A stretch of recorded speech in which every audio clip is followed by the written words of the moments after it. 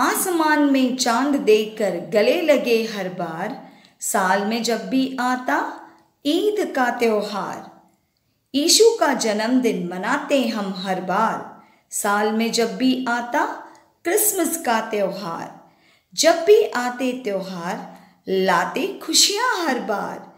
सबके साथ मिलकर हम मनाते हर एक त्योहार। Now, Eid is a festival of Muslims. And it is believed that all enmity is forgotten during this festival.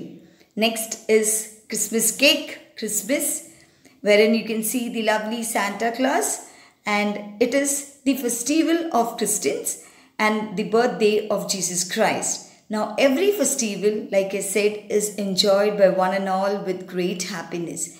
It is believed that festival brings uh, a lot of joy in our lives. So let all festival bring joy into your life. Thank you.